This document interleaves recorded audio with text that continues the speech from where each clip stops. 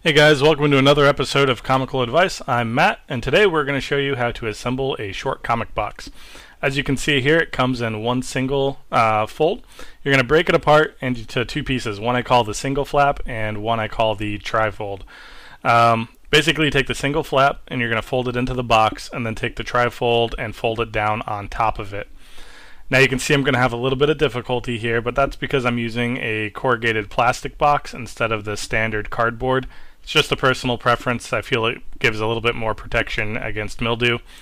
Uh, but as you can see, it folds in. Uh, the next step is to take the two handled flaps and you're going to fold those up so that they're flush against the wall. Um, this could take a little bit of uh, finessing, but as you can see, um, we've got the first one in progress. You can take that and just fold it up and make it flush, and then take the second one and you're going to fold it and do the exact same thing. The next step is to take your single fold and put them between the two handled flaps. Um, you just kind of hold them, hold the handles flush against the wall, and push the edge down, like you can see I'm going to do here. Um, you just kind of force it a little bit, and what that's going to do is create the structural integrity of your box.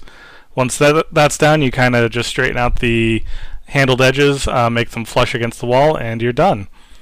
Alright, next I'll show you how to put together the lid. It's real simple. It comes in one single piece, um, but I've already completed one side here as you can see.